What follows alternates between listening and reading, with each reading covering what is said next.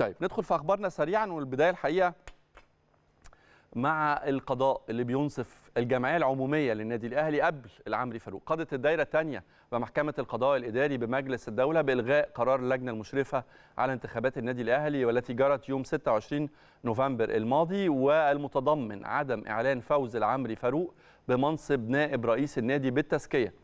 وعرض أمره على الجمعية العمومية. وكان العمري فاروق قد أقام طعنه وتضامن معه النادي الأهلي والذي كلف محمد عثمان المستشار القانوني للنادي بمتابعة الدعوة وطلب العمري فاروق في طعنه إلغاء قرار اللجنة المشرفة على الانتخابات وما ترتب عليه من آثار. كما أعلن مجلس إدارة الأهلي برئاسة الكابتن محمود الخطيب عن انضمامه للعمري فاروق في دعواه وطلباته احتراما وتقديرا لإرادة الجمعية العمومية التي منحت العمري ثقتها بأكثر من 19 ألف صوت.